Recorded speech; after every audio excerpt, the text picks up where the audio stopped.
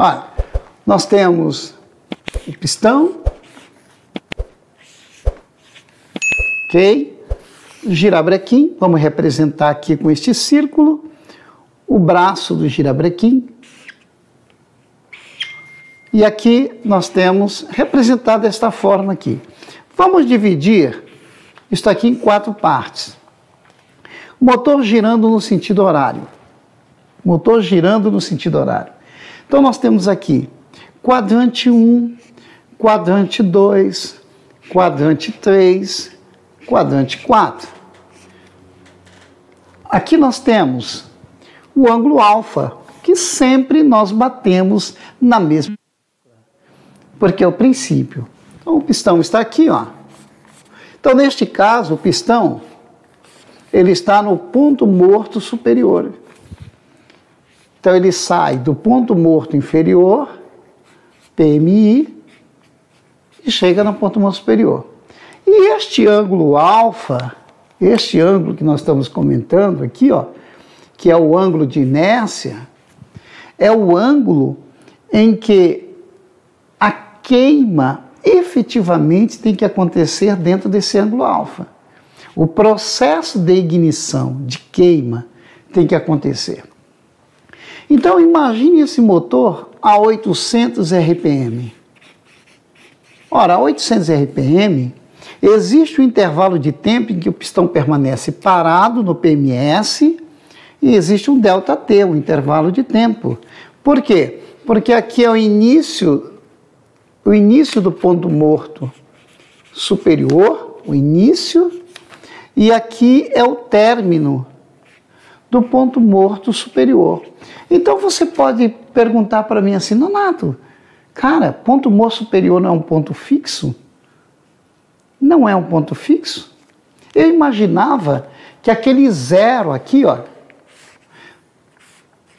fosse o ponto morto superior. Sim, ele é, mas é o ponto morto absoluto. É aonde a biela está alinhado com o braço do girabrequim.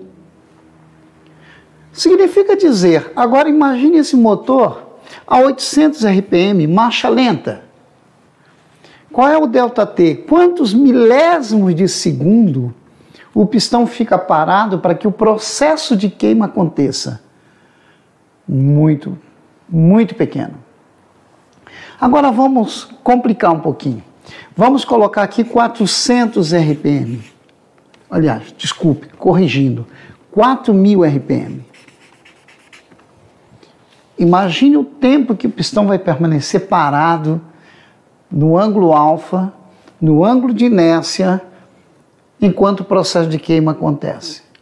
Então nós temos, o sistema tem que acelerar o processo de injeção, tem que adiantar, tem que atomizar bem para que a queima seja rápida, eficiente, para que enquanto o pistão está no ponto morto superior, onde o braço vai sair do quadrante 4 para o quadrante 1, aonde acontece o momento de torque, ok?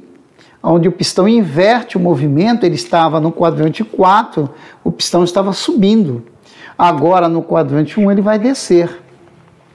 Então nós temos aí, ok? O ângulo alfa.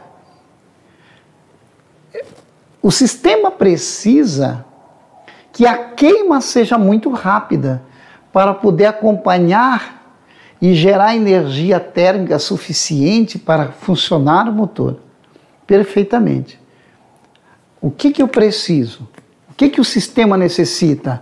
Da alta pressão de injeção. Para quê? para que haja atomização e a queima seja o mais rápida possível. Acontece que desde a partida até a potência, a potência máxima, que acontece na rotação máxima, a pressão vai sair de 200, que é o mínimo, bar de pressão, E aqui, dependendo da aplicação, nós vamos ter potência, a pressão de 1400, sistemas com 1600,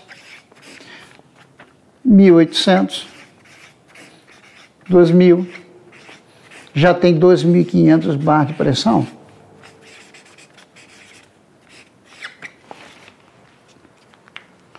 Então vejam que a, a, alta pressão do sistema ela já é uma realidade em função da necessidade. Quanto mais alta é a potência do motor e a faixa de rotação em que essa potência acontece, então nós temos aí automaticamente a pressão estabelecida.